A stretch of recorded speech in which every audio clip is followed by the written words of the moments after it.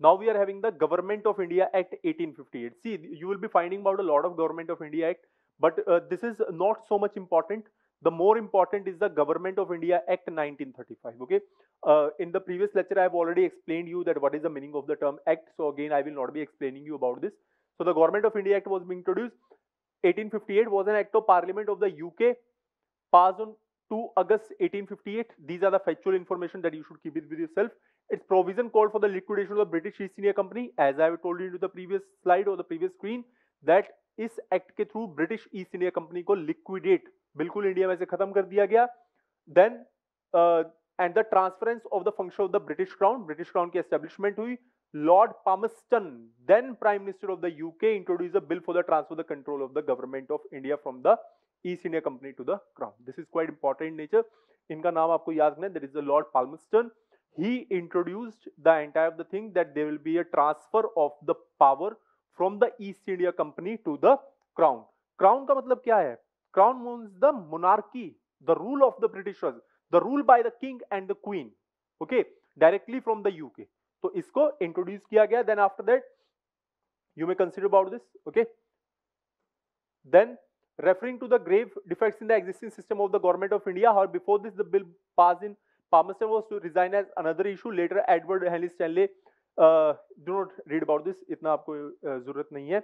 Introduce another bill which give original title as an act for the better governance of the India. This is quite important कि इसका नाम एक तरीके से बदला गया जिन्होंने इसको प्रोवाइड किया an act for the better governance of the India कि इंडिया को किस तरीके से गवर्न करना है देखिए governance governance means the act of governing any kind of institution any kind of setup that is called as a governance and the present government present government the present central government is trying to implement which kind of thing? Good governance. What is good governance? Including all into the society. When i'm saying about what is the difference between the governance and the good governance good governance means governance you know about understand that how to govern the people how to manage the society this is called as the governance. Good governance means that the people those who are in authority that the government should win the trust of the people okay and all the people should participate into the it transfers the representative government into participatory government everyone is clear with this or not representative democracy को participatory democracy में convert करना because the the system of democracy works on a principle and that principle is called as doctrine of popular sovereignty. Please those who want to write you can write. The principle is called as doctrine of popular sovereignty which means people are supreme in a democracy.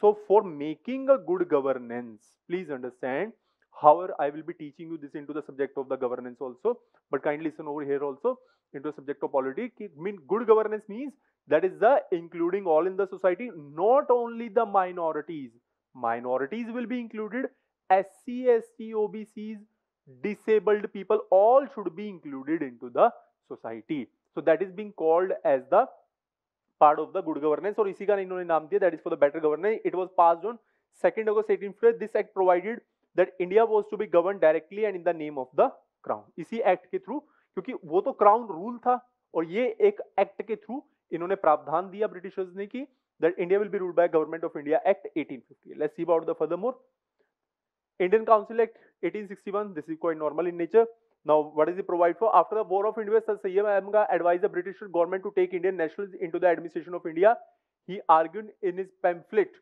the cause of the Indian revolt that the failure of the British to admit Indians into the Legislative Council prevented them from having any say in the government policies that touched them directly and was the behind the revolt. So let's discuss about the Indian Council Act of 1861. What is, what is being said into the Indian Council Act of 1861? It provided, let's see about, the Indian Council Act 1861 was an act of parliament of the UK that transformed India's executive council to function as a cabinet running to the portfolio. What is the meaning of this? कि 1861 का जो council act आया इसने क्या provide किया कि जो India का पूरा सिस्टम है the entire system of the India or the there should be a form of cabinet okay जैसे अभी भी हमारा कैबिनेट सिस्टम है। Cabinet ministers are those minister those are having the important portfolio portfolio means in charge of a ministry please understand portfolio means for example home home ministry home is a portfolio defence is a portfolio finance is a portfolio okay like external affair is a portfolio तो इस तरीके से Indian council act 1861 ने पूरा portfolio बनाया। Who charge as a separate department Kolkata government home revenue military law finance already मैं आपको explain कर चुका हूँ, इस तरीके से पोर्टफोलियो तैयार हुए। The military commander in chief set in with the council as an extraordinary member military commander in chief viceroy already मैंने आपको दो तीन कल वाले लेक्चर में एक्सप्लेन कर चुका हूँ इसको अच्छे तरीके से। The executive council was enlarge by addition of fifth member the vice वो allowed to under provision so ये सारी पावर्स इनको प्रोवाइड की गई। और इंडियन काउंसिल एक्ट 1861 को एस्टेब्लिश किया गया। आपको मेन पॉइंट्स इसमें क्या याद रखने important points that you should remember into the Indian council act of 1861 that there was the establishment of the cabinet system और the portfolio system through which different portfolio जिनको आज मिनिस्ट्रीज बोला जाता है, वो डेवलप किए गए, जिसके अंदर एडिशनल एक एक्स्ट्रा ऑर्डनरी मेंबर बैठेंगे commander in chief will be the viceroy will be having the different kind of powers to take the decision into the entire of the cabinet